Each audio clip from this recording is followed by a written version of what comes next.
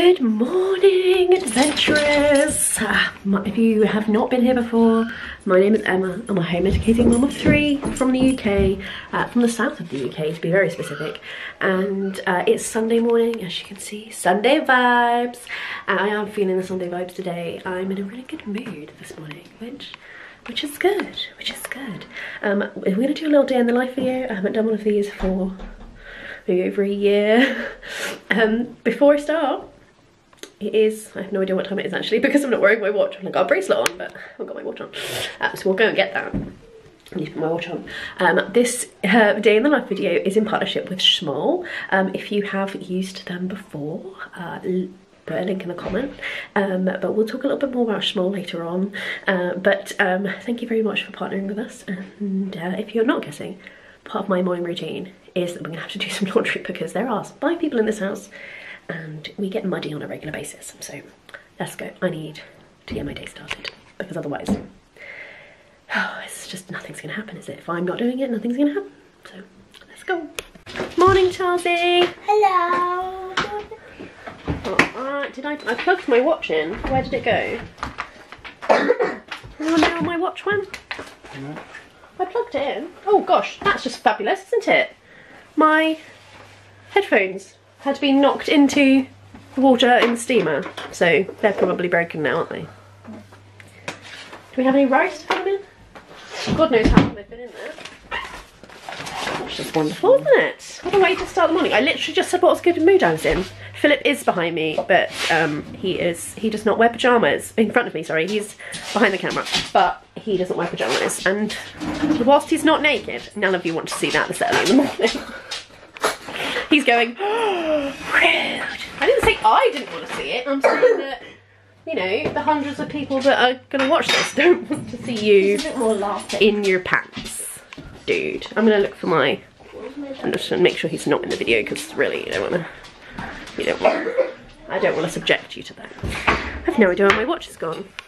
This is pretty typical of me in the morning, to be fair, of not having a floofing clue where anything is. ADHD brain. I have no idea whether I'm coming or going. Okay. Okay. So no watch this morning, and my headphones are probably broken. That's starting off so well. So excited. So, Phil always makes my breakfast in the morning, makes me a coffee. Not because I'm lazy, but because otherwise I will forget to eat. Uh, because I will do like a million and one other things. and I'm like doing stuff for the kids and then I forget to feed myself. And then I end up really angry, cranky. Um, and no one wants that. I get hangry. I'm not a nice person when I'm hangry. So first thing I have to do in the morning is let my poochie pooch out uh, it's a bit of a messy living room. We didn't tidy it last night, but there she is. Lily, say hi. Hi, Lily dog. Uh, Lily is a Cretan hound. I've had lots of people ask me that before, and I don't know if I've ever said anything. But she's a Cretan hound, and she's a rescue. Go on darling. Go to toilet. Good girl. She's a. that's my dog voice. Good girl, darling. Um, she is a rescue from a uh, rescue that um, has a UK base, but it's um, a, Cyprus, a Cypriot rescue um, in Nicosia in Cyprus. Uh, it's called SBDC. I'll leave a link in the description below. Uh, we got her as a four month old puppy and um, I'll see if I can add a picture in of her as when she came, the day she came home, maybe over here somewhere. Um, she was adorable and uh, she can be quite anxious dog, but she's a darling and um, just, just generally fabulous in every way. Um, apart from the fact that she has a tendency that if you, if you have to have like a stair gate by the door because otherwise she just like takes herself for a walk occasionally, which of course is not ideal. Um, but she always comes back within like five minutes. But, yeah. So, um, if you have any children in your house, you'll know that you're doing laundry all the time. And I have tried so many different ways to make laundry like easier to manage. I'm just gonna rest the camera there. It's gonna be wonky. No, it's not. There we go. Um, to try and make laundry easier for five people.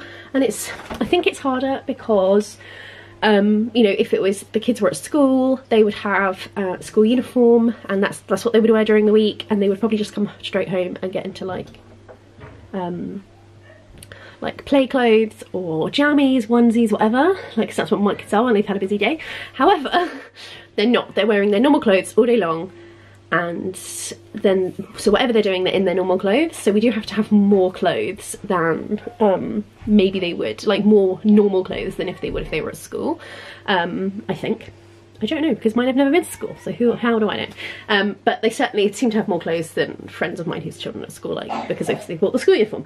Um, so but they also go to forest school which I've talked about before but they spend all day on a Monday in the forest and they come back especially in the summer it's not too bad they often come home maybe covered in paint or something um, occasionally glue in the hair Betsy uh, but um, in the winter this time of year they come home caked in mud and my poor washing machine over here goes through a lot. We also have swimming lessons, so the swimwear being washed every week.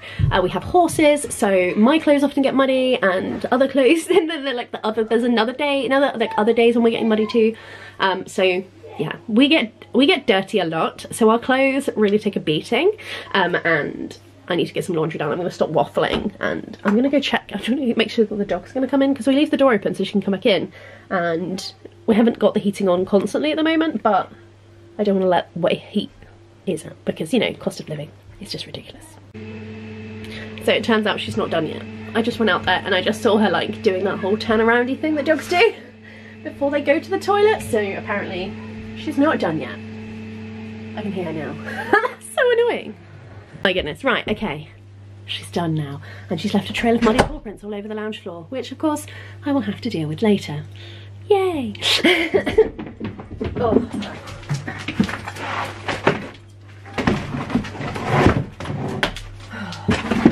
we were all really ill like a little while ago and I think I said it in one of my videos um, and like just no laundry got done for maybe like two weeks because I was really ill and Phil was ill and if he wasn't feeling ill he was looking after the kids.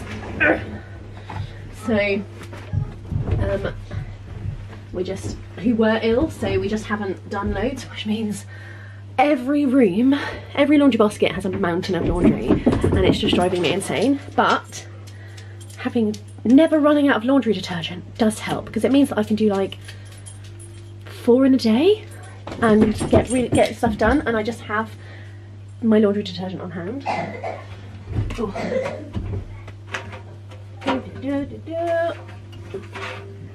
Right, that's all wet stuff. So, something I wanted to talk about, and you know I'm going to get distracted and keep going back here, is, um, and I did do a video on this, but I just didn't upload it because it was just me like sitting and talking, and I thought this is probably going to be better. Um, and that was that um, we had a like a breakthrough. Dirty laundry. Um, we had a breakthrough recently um, with the kids. That's not dirty laundry, that's spare things. Um, had a breakthrough, homemade breakthrough recently. I don't know if anyone else had them uh, recently, but it was just like, it was amazing. And um, I decided I'd had, I'd pretty much had enough of the children arguing with me about um, their home ed. And I realised that what my vision for what home ed looks like was very different to what theirs looked like. And I thought, okay, how can I make this work? How can I make everyone happy or as happy as possible, but including me because I don't want to be unhappy doing this. And I kept thinking to myself, oh, um, to go in there. Um, maybe I should send them to school. Maybe I should have sent them to school. Like maybe this is all just a bad idea. And I hated feeling like that because rationally I know it, it's never a bad idea. That this is a good idea. This is a good idea for me. It's a good idea for them. And um, oh, it's a collection of socks. Oh, that one's hard and crusty growth. Right. Um, where's me? Get my. Whoops. Get my. Um, yeah, so we had this two. Uh, we had this epiphany and I thought, okay, what do you, I said to them, we were in the car, so many good conversations happened in the car, didn't anyone find that. Um, and I said to them, well, what do you want to learn about? And I thought, let's just scrap everything else for now and let's just do a project that they want to learn about. And um, Bessie, who's always the hard one, she's the one who's always complaining, I don't like this. Um, and I said, well, what do you want to learn? And she said, I want to learn about oceans yeah, I can do that. Can, we can learn about oceans. And the boy's like, oh, that's a great idea. Yeah, I want to learn about oceans. Okay. So I went onto this website called Teach Simple and um, That's it. I like to, just digressing back to laundry, I like to wash at 20 um, because environment, cost of living, and all that jazz. It's always on 20 degrees C. A little chilly, but that's okay. Um, yes, so I said, okay, we're going to learn about oceans. I went onto this website called Teach Simple, which is kind of like an American Twinkl, and I found um, a a it's lots of different rather than one lot of creators like Twinkl is it's um, loads of different people. They can like add their stuff to it. So if you wanted to make something you could add it to them.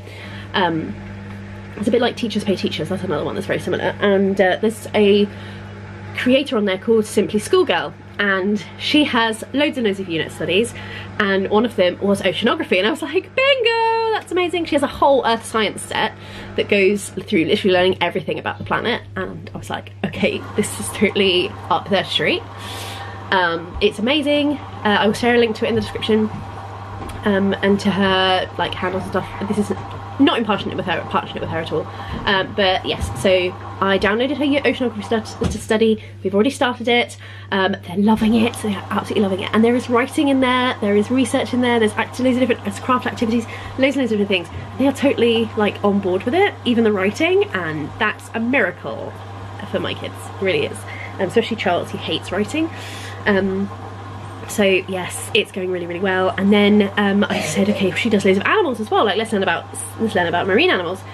And um, she had maybe 10 unit studies I think about marine animals like sharks, turtles, octopus, dolphins, seals that sort of thing. So I gave them the list and then I gave them a ballot paper um, and um, got said you can you've got four votes. And so tick them and then we'll make I'll make the unit study out of what you decided. And in the end we ended up picking five because the boys picked the same but Bessie picked the same but one different.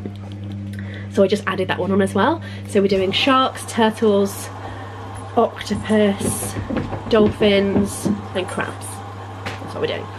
Um, so we're just working through at our own pace it's going really, really well. We're watching Blue Planet, um, Blue Planet 2, David Attenborough. We are, I've got some books from Amazon, some encyclopedias. Again, all of the links will be in the description if you want to join in.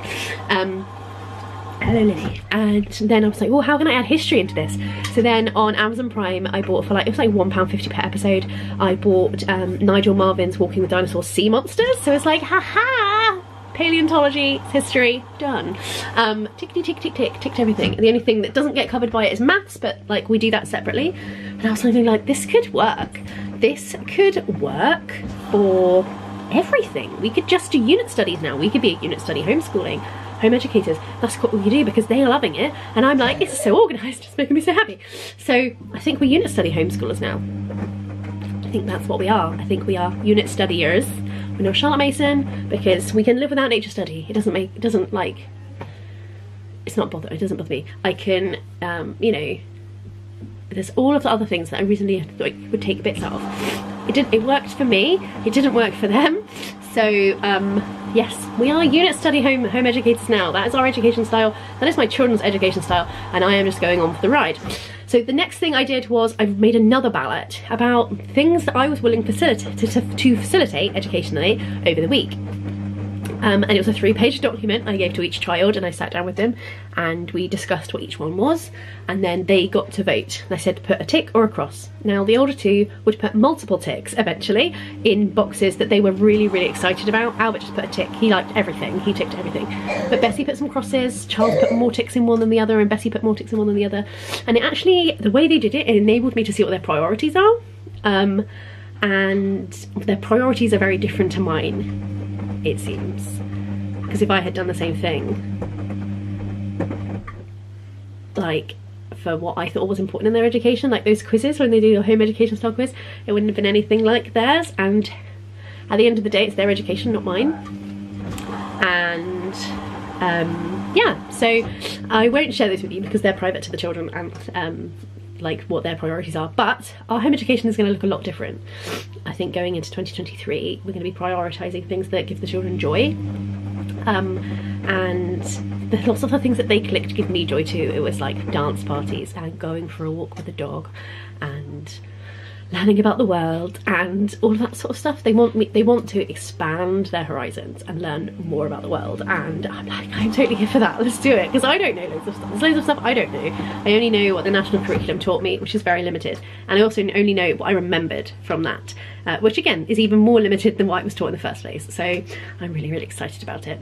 Um, I am going to go and get dressed and then we're going to have a little chat about Smol and then I'm going to have my breakfast. Okay, dressed.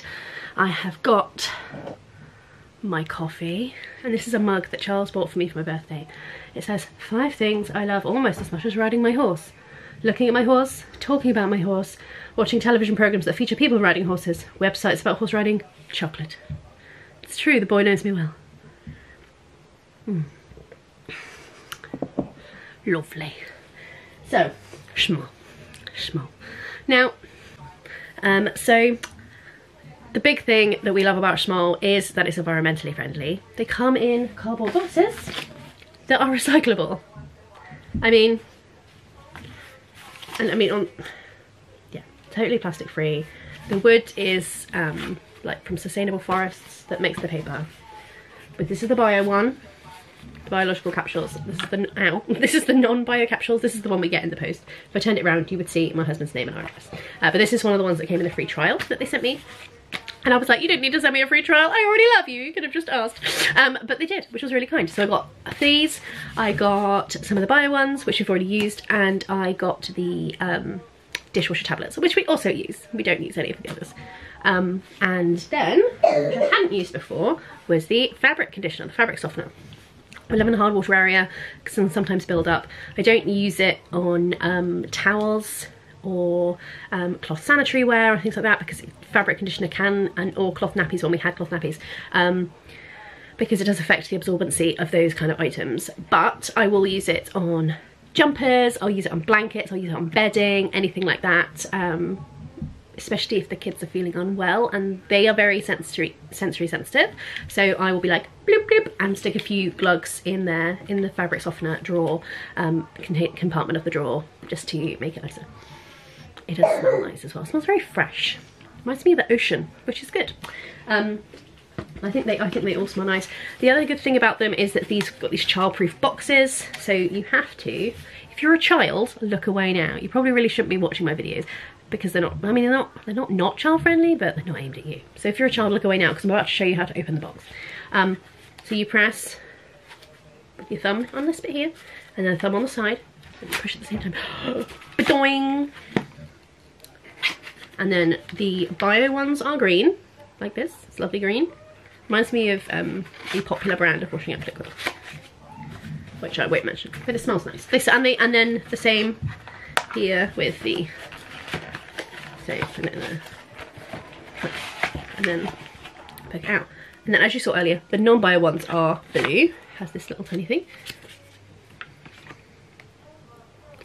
And the blue one smells slightly different, which is nice. I think it's an easier way to tell. So, if you are visually impaired and you, or you're colourblind in any way, and you can't tell the difference between the colours, sniff them. And you'll be able to tell because they smell different. There's one or the other. So we use non-bio on a regular basis. Um, one of our children does have a, um, a, a, bowel and bladder condition and anything that has um, bodily fluids because they quite we quite often have to do laundry that has bodily fluids on it. Um, also, obviously, I'm a menstruating person, so um, anything that has anything that has blood, wee, or poo I will use biological to break down anything that's in there. Um, also, if something's got like lots of food on, I will use like baked beans or curry sauce, tomato sauce, something like that. Oh, so nice. Um, I'm not allowed to sniff them all the time, that's not okay. But yeah, I will use the biological ones for heavy things like that. Um, so I'm just looking at the website here and there's some bits, nuggets I want to share with you before I go, which are save more than just money. It is cheaper, it does work out cheaper, that's the other thing, it does work out cheaper than buying any of the other leading brands um, and and it's just like, it's in a cardboard box, it's not like, it's all plastic free, that stuff around it, it is not plastic so you're not putting microplastics into the water. But it says here, since they launched they have saved 1,069 tonnes of plastic, 2,903 tonnes of chemicals, 16,268 tonnes of carbon, 32 tonnes of animal fat, 903,369 litres of water shipped, because obviously it's just these tiny little things. And then 168,498 washes donated. So you can get a free trial.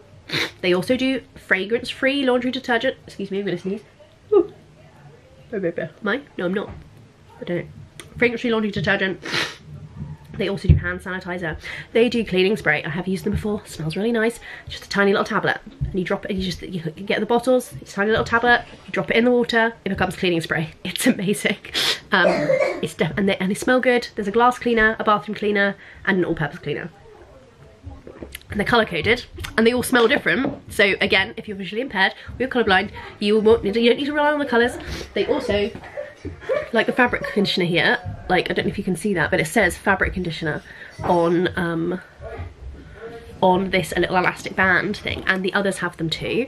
Um, so you'll be able to see the words as well. So if you can't smell very well, my mum can't smell, she'll be able to tell the difference. Um, and uh, my dad's colourblind, so they would be able to read it on here.